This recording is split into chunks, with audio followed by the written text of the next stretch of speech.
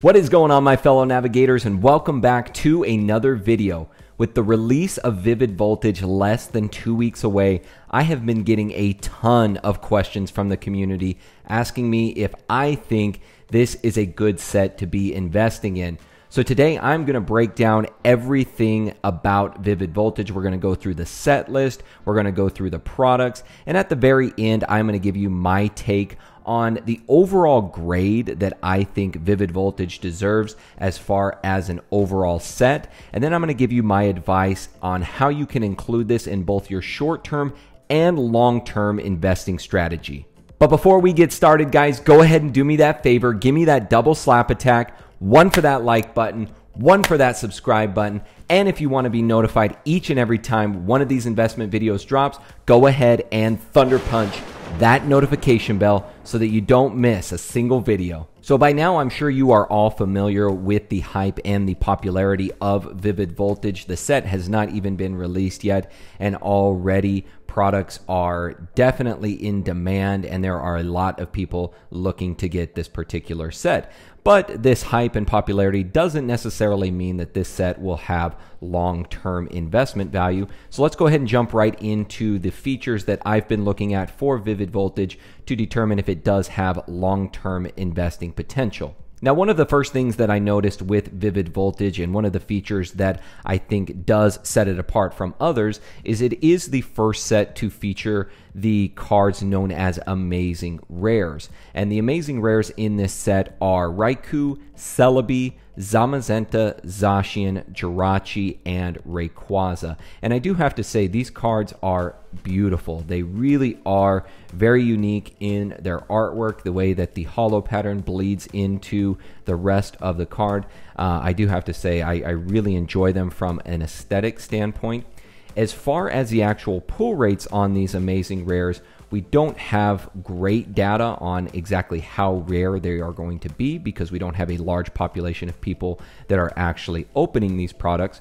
But from what I've seen online from early openings um, that I've noticed, it appears that on average in a booster box, there are about two amazing rares per booster box. So even though the name would suggest that they may be very, very exclusive and hard to get, it's not necessarily that case, or at least from what we have seen thus far. Perhaps in you know a larger population of products that are being opened, we will find that these products are in fact much more rare than what they have appeared in these early openings. But from an aesthetic standpoint, from a rarity standpoint, I think they do bode well uh, for this set for long-term investing potential.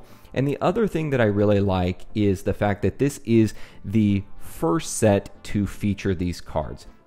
And to me, that is a, really good sign for long term investing potential when you have a set that is essentially the inaugural set for a particular type of card. You know, if you go back to uh, Black and White, which was the first uh, sets to feature full art cards, you know, that generally bodes well for a set over the long term. As you guys know, I'm big on uniqueness, I'm big on uh, sets that commemorate special events, but also in this case, I really like sets that bring about a, a unique type of card that sets the precedent for future sets. So I think all things being considered, I think the amazing rares in here definitely bode well for Vivid Voltage in its long term investing success. Now, if you look on the open market now, the English versions of these amazing rare cards, they are going for about 30 to $70 right now on the open market.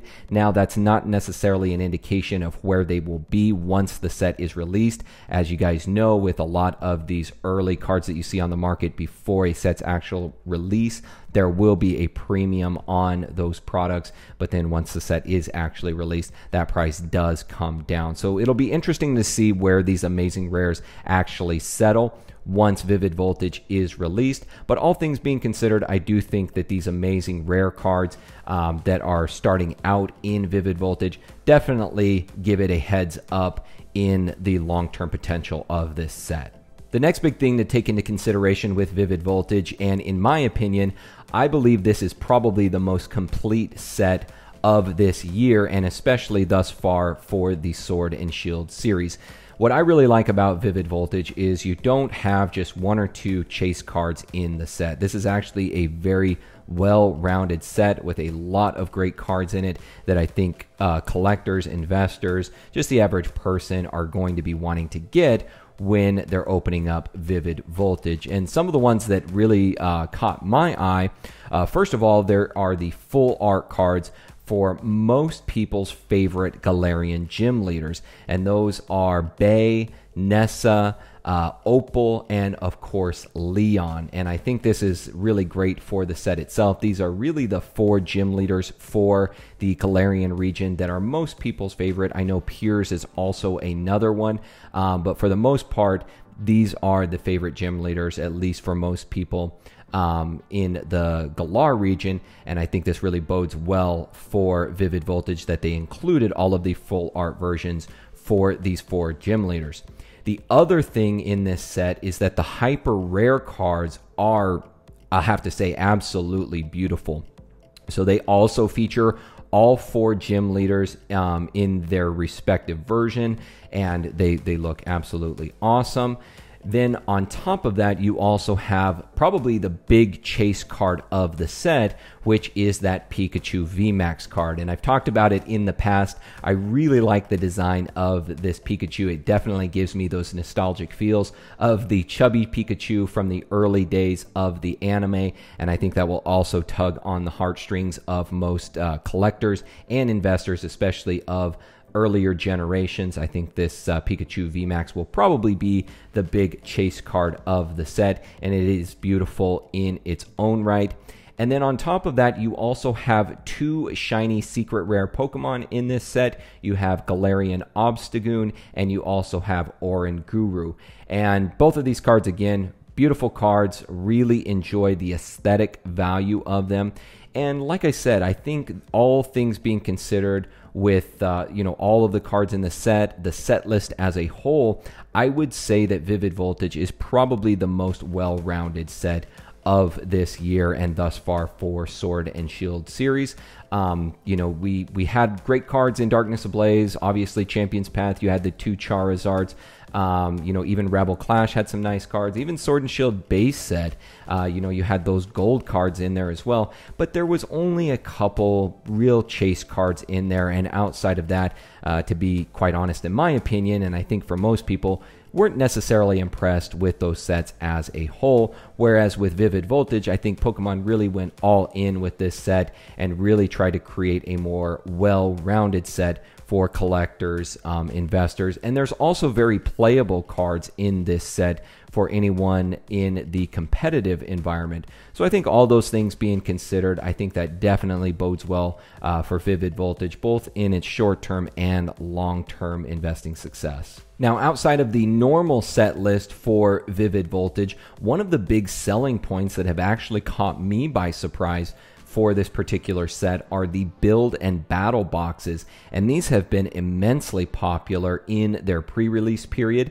And one of the big reasons for this are the alternate art uh, promo cards that are featured in these build and battle boxes. So, in each of these, you have one of four promo cards that you can receive with each build and battle box. And the four Pokemon that you can get are Snorlax, Donphan, Lugia, which is one I was really excited about. As you guys know, Lugia is one of my favorite Pokemon. And then, yes, on top of that, you have the big man himself, a Charizard promo card as well.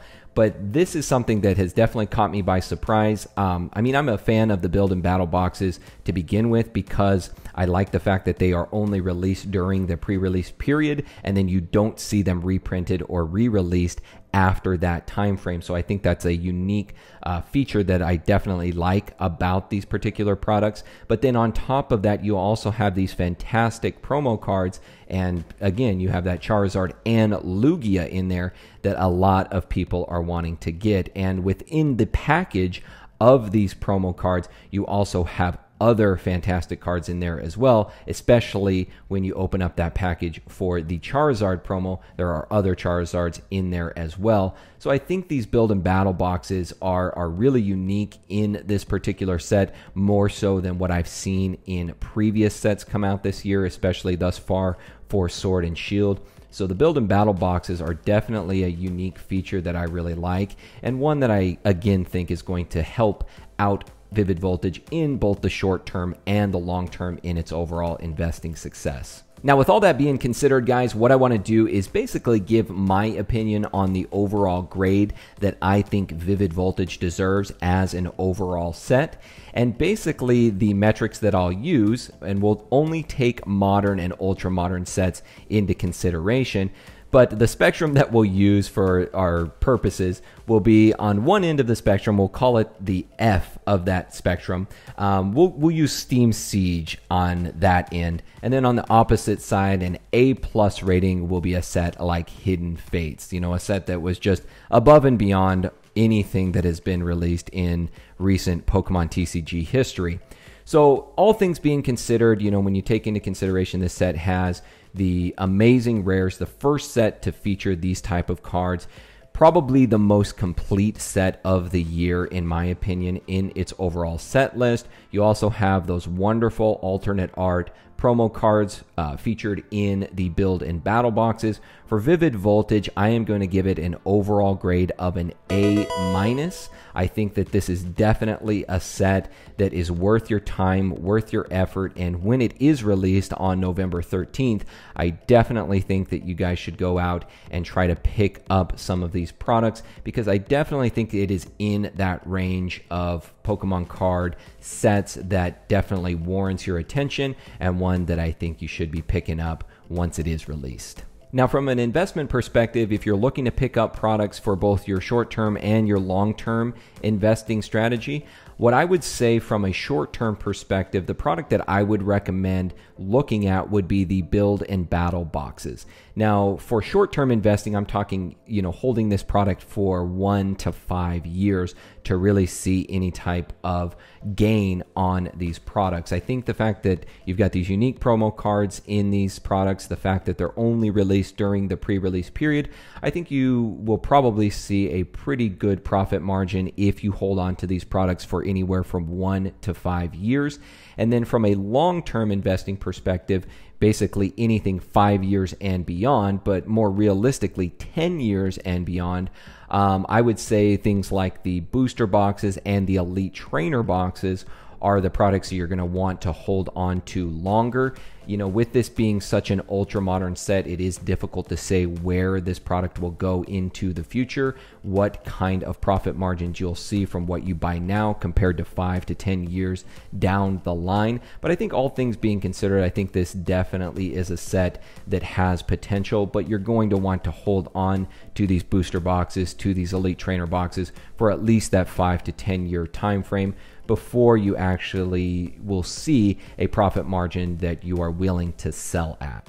So that is going to do it for today, guys. Let me know your opinions on Vivid Voltage. Let me know what overall grade you would give this set and also your opinions on both its long term and short term investing potential. Other than that, guys, I will see you all next time. My name is Pokenav. I'm here to help you navigate the world of Pokemon one video at a time, and I will see you all in the next video.